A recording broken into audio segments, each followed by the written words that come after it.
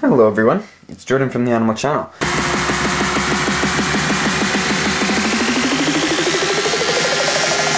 Oh.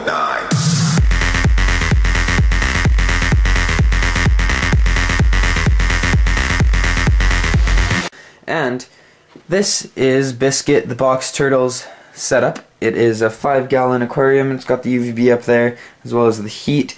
And then that's usually where I'm going to put vegetables.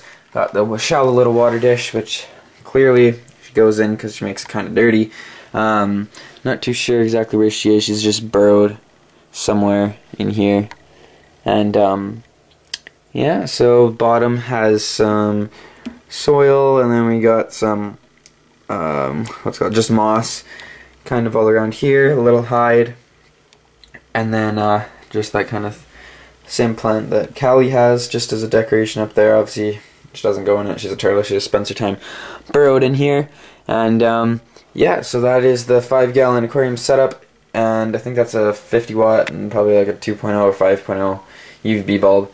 And um, yeah, so that's for Biscuit, the box turtle, Eastern box turtle actually. And uh, yeah, thank you for watching. Blizzard's back there, Merlot's down there, and uh, calcium and everything. All set up pretty fine and dandy to me. Thank you for watching. Please like, favorite, share, and subscribe. And talk to you later. Bye.